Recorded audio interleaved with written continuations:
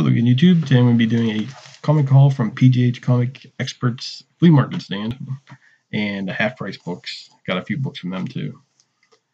Uh, I met PGH Comic Expert. Uh, please subscribe them.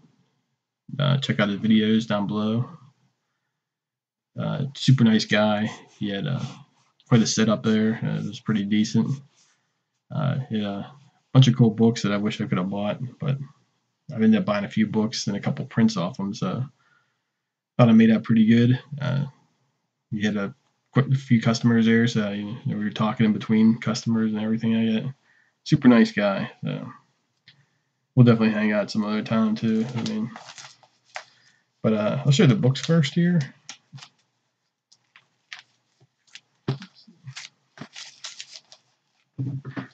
Uh, first up, I picked up I never read anything um, dealing with this character, so it's a Megaton Man. Let's go like that. There's a reason why I do the hand videos. but this is uh, issue one. I picked it up. I figured I'd give it a try. And also picked up, uh, I know the one, the Savage Dragon, so I picked that up too. This one's actually signed by Don Simpson, so he made it sweeter. But yeah, that's pretty awesome. yeah, you gotta try something, try something different once in a while. Uh, next up, anytime you see a Bernie Wrightson cover, I think it's by law you should pick it up. But uh, this is the Punisher. This is issue three. Frank Castle coming out of the grave. So yeah, I thought I had the first issue of this series, but I don't. So it'll be something I'll be looking out for to the bins. Um, next up, I picked up the Harley's little black book variants and stuff like that. I only picked up, I think I picked up two of them. I didn't get the Green Arrow or the Superman, but now I have Green Arrow, which is pretty cool. Tim Sale cover. I love the black and whites. So I always pick those over anything if I get a chance. Uh, lastly, I picked up off from Comic Book Wise um, was Batman issue 50. I didn't have this. I didn't buy the variant of this. So it's pretty awesome. And as I've been going back through all the like every time back issues and stuff like that, I've been finding a lot of new 52 Batman variants.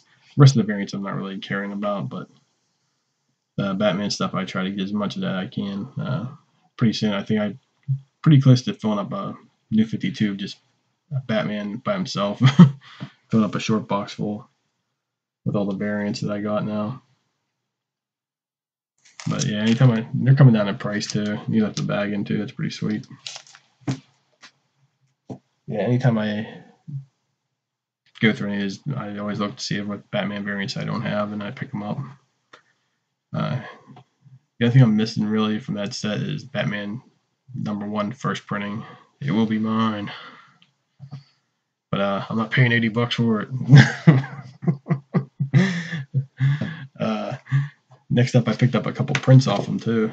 PGH Comic Expert, link down below. Um, see if I get that in the screener. Yeah, even my wife was like, "Yeah, this is pretty nice. I might have a good chance of keep them in the living room after I get them framed." So, but yeah, can't go wrong with these old Universal stuff. I mean, it's a nice print. I mean, got Boris Karloff as the mummy. And Bela Lugosi as Dracula. So that's pretty awesome. So yeah, oh no, this is a nice trip out there. It was a nice little community flea market. Uh, I didn't get a chance to look at any other stands or anything like that. I wasn't really interested. I just wanted to go meet uh, PGH comic expert, buy some stuff off of him. So all in all, it was a great, great Sunday or Saturday. Saturday. I said Sunday in the beginning. of mistake. Uh, let's see what else. I also went to Half Price Books. Picked up a couple things from there. Picked up uh, Kick Ass 2. Um, I had the first one of this, the the series, uh, but I didn't like Kick Ass 2, the movie, so I'm not sure how that ties in with it at all, if it does at all, whatever. So um, we shall see. Of course, you know, if I see something like this for a dollar, I'm picking up Texas Chainsaw Massacre, Issue 1.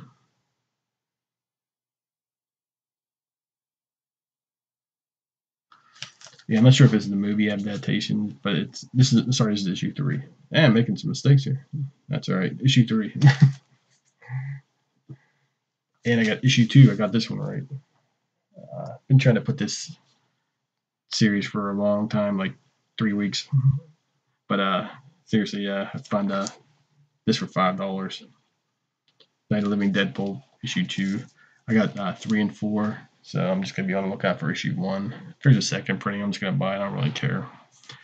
Um, that's everything today. Uh, I still got my Batman, my Daredevil haul. These will be coming out soon. I'm hoping to have one on Sunday. I'm probably gonna do Daredevil first, then I'll do uh, Batman sometime next week. So I'm gonna cross my fingers and hope I get some time. Nobody else is sick in this house, so.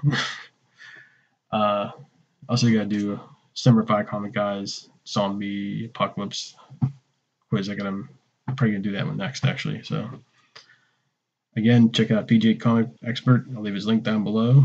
Subscribe him. Really cool dude. Um, and that's it. I'll talk to you next time.